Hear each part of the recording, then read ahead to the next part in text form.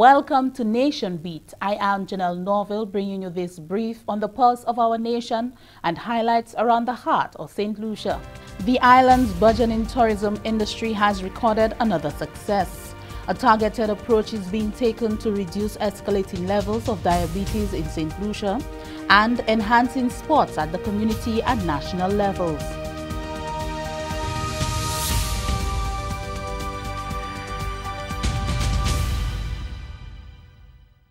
The island's burgeoning tourism industry recorded another success November 3 with the addition of premium mint service flight by JetBlue to the Hewanorra International Airport. Government officials and officials of the St. Lucia Tourism Authority SLTA on Saturday welcomed the inaugural JetBlue Mint service. The flight originated out of Boston Logan International Airport and landed at Hewanorra International Airport. The St. Lucia Tourism Authority is ecstatic about the new service. SLTA's Chief Marketing Officer Tiffany Howard indicated that this is exciting news for the destination as the introduction of the JetBlue Mint service from Boston signifies continued growth in the luxury sector out of the Northeast United States. According to Howard, the goal is to continue welcoming more visitors to St. Lucia, and JetBlue, as a partner, continues to complement the SLTA's marketing efforts. It is such an exciting day for St. Lucia and for the St. Lucia Tourism Authority because it is through our efforts and our partnership with JetBlue that we are able to make this inaugural service happen. And we're very excited about what the potential for that means from Boston, which is one of our finest cities that we know that we have um, folks that are really excited about coming to St. Lucia in. And we have on hand today our head of the USA, Ms. Kelly Fontanelle, who had the privilege of being on the flight today, as well as Mr. Ernie George, who is always in the market and uh, there with the folks up in Boston, making sure that St. Lucia is always top of mind. While it is not a new flight, JetBlue has added its premium mint service to the route, which allows passengers the luxury of kicking back and relaxing on fully lie flat seats. Each seat features cushions with adjustable firmness and a massage feature, a comforter and pillow and ergonomic touches. In addition, the Mint service provides individualized seat back TVs and unlimited snacks. SLTA's Director of Marketing for the USA, Kelly Fontanelle Clark, highlighted the benefits to St. Lucia. Boston is a very is a key market for um, for tourism for St. Lucia. This is our where most of our arrival come from the northeast. So having the mint service out of the Boston area just talks to our luxury market and giving um, allowing the luxury customers another way to get to St. Lucia. Um, JetBlue is one of the biggest airlines to the Caribbean out of Boston. And then we're happy that they've decided to keep the main service out of Boston to St. Lucia. It's now a seasonal service, hopefully keeping our fingers crossed, it will be all year round. The SLT expressed the country is to benefit significantly from the flight. The St. Lucia Diabetes and Hypertension Association has planned a number of events during the month of November to highlight the behaviors and practices individuals need to engage in to reduce the escalating levels of diabetes on island. The Ministry of Health, Massy Stores and other strategic partners are working closely with the association to make a bigger impact this year. St. Lucia has an estimated 14% prevalence of diabetes among the population so said Dr. Shanasir Filbert, the non-communicable disease focal point in the Ministry of Health and Wellness. We're looking at being overweight or obese, um, smoking, living a very sedentary lifestyle in terms of not exercising, and just family history. If, let's say, your mom or dad was or is diabetic, you're more prone to becoming diabetic. Proper nutrition and regular exercise has been proven effective in the prevention and management of diabetes. The theme for this year's World Diabetes Day is diabetes and families. What we're looking at is making sure that our population is aware of the fact that diabetes is not just the individual's problem, but the whole family's problem. And we're even going outside of that. We're looking at society as being a big family so that we, everyone needs to help the other person. President of the St. Lucia Diabetes and Hypertension Association, Andrew Felix, challenged the corporate sector, particularly insurance companies, to do more in the fight against diabetes. His statement was made during a check presentation of $8,000 by Massy Stores to support Diabetes Month. Um, insurance companies all out there, not just in St. Lucia, but throughout the region, one of the things they have to understand is wouldn't they rather have clients coming to them talking about referrals, making payments, or would they rather have clients coming to them to make claims? They need to just digest that and understand the importance of that because we are here to reduce diabetes and the escalating tsunami levels of the rising tide of diabetes globally. Soraya Bess Joseph, Divisional Head of Marketing and Corporate Communications at Massy Stores, said being one of the largest employers on island with over 1,200 employees, the company understands the impact lifestyle diseases such as diabetes can have on productivity and performance. We have understood the importance of ensuring that we not only engage with associations like the Diabetes Association and support their work, but more importantly, we want to be able to support our staff who need information, who need to become more aware of diseases, of how they can better manage their health, wellness, fitness, etc.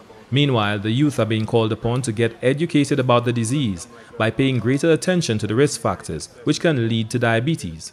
Perseus Prosper is the vice president of the Youth Diabetic Group. So the youth who, who probably wouldn't even think about it because they don't have any medical condition. But unhealthy living could lead to diabetes. You know, so of course to the youth we're telling you to live healthy, you know, take part in all of our activities this month, you know, so that you get educated and you know about diabetes, the symptoms, you know, so you can live a better and long, healthy life. For the Ministry of Health and Wellness, Glenn Simon reporting. The Solid Waste Management Authority is attempting to improve the handling and management of solid waste in St. Lucia with the execution of a solid waste characterization study at the Deglos Sanitary Landfill. The Solid Waste Characterization Study allows the St. Lucia Solid Waste Management Authority to determine the composition and quantity of residential solid waste with the aim of developing a plan for waste collection recycling, and disposal. The study focused on solid waste originating from the Gros Islet and Anse La Raye Canaries collection zones. Zonal Supervisor of the St. Lucia Solid Waste Management Authority, Cassian Henry, says such an initiative is important as it will set the basis for the implementation of a recycling and reduction waste management program in. Lucia. In this case, uh, we're pulling out a 90 kilogram or 200 pound sample from each load that lands here in the landfill. And the uh, guys here would physically separate the various types of waste streams. Uh, for example, plastics, the various types of plastics, the various types of glass, various types of uh, organics, and so on and so forth. What that enables us to do is to be able to determine um, the quantities of the said waste streams. Henry says this study is expected to assist the authority with efforts to reduce the amount of waste sent to the landfills. Currently, we are experiencing some difficulties with um, how waste is placed out for collection and how waste is collected uh, from the municipality in terms of the various, well, the various um, communities. So households would be able to do a, a separation of waste at, at that level in terms of having plastic separated from you know the bulk waste and you'd have um, organics put aside and so on and so forth so what that means is that we would have less waste to deal with at the landfill and rather have waste going in other dimensions where it can be put back into some usefulness. The waste characterization categories sampled include paper and paperboard, glass, metal, plastics, textile, organics, construction and demolition waste, special care waste, and other disposed solids.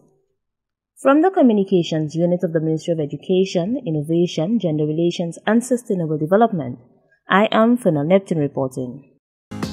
With just one click, the internet connects people, businesses, and nations. Being connected can open a world of information and opportunities. You can get services and products of your choice much faster. From electronic financial transactions to connecting with family and friends, from being up to date with the latest news and information to learning new skills and acquiring academic qualifications, all from the convenience of your home or wherever you roam. Get connected today.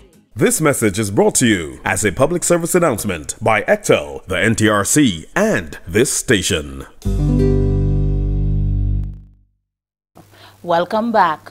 The Pan American Health Organization, PAHO, and the Environmental Health Department of the Ministry of Health and Wellness have combined efforts to execute a mission that would benefit consumers. The Environmental Health Department completed a one-day training session on Wednesday, October 31st for food handlers and proprietors of small food establishments. The aim of the workshop, which was hosted in collaboration with PAHO, was to improve standards on foods and services offered to consumers.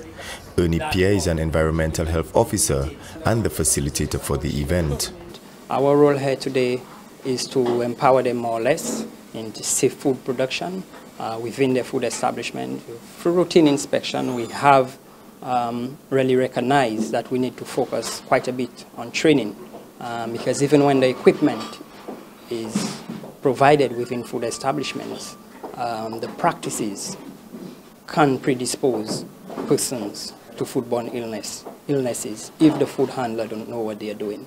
And today we are, we are embarking on uh, a drive. Um, basically, we have had two such training sessions, one, one in the south and we are having um, one in the north as well, to empower those persons to ensure that um, they are equipped with basic food safety principles into, ensuring that when they produce food that they are producing from the establishment, safe foods. Pierre said this training workshop is beneficial to the persons who are involved and by extension the consuming public. We are looking forward to seeing an improvement in, in terms of sanitation in food establishment, in the practices, um, food hygiene principles, in terms of how they handle food coming out of that um, workshop. Um, secondly, um, it therefore means it can ease burden on the ministry in terms of less inspection, less frequency of visit if those persons are in fact in compliance, because if you're not in compliance, you see us a lot more often. Um, it will also cause a lot of those food establishments the standard to rise, therefore ensuring that they are licensed and meet the benchmark.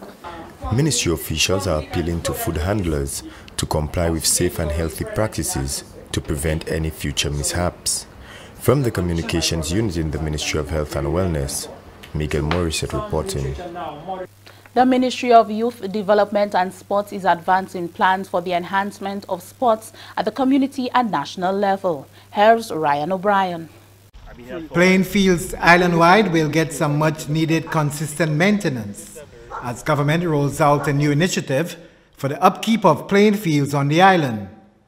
Ricky Alexander is Executive Assistant to Minister of Sports, the Honorable Edmund Estephane, who is keen on having the new program started.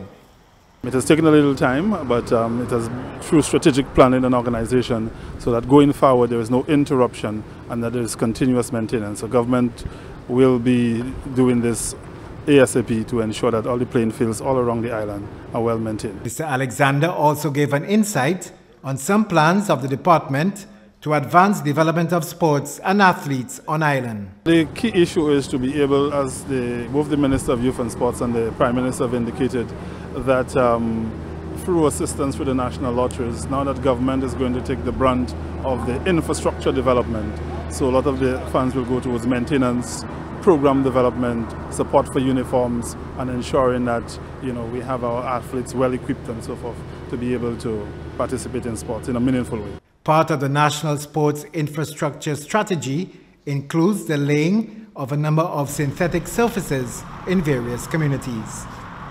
From the Department of Youth Development and Sports, I'm Ryan O'Brien. That's Nation Beat. Join us next time on NTN at 7.30 p.m. with a repeat at 7.30 a.m. and on this station as we feel the pulse and heart of our community. You can also catch up with us anytime on the St. Lucia Government Facebook page or YouTube channel. I am Janelle Norville.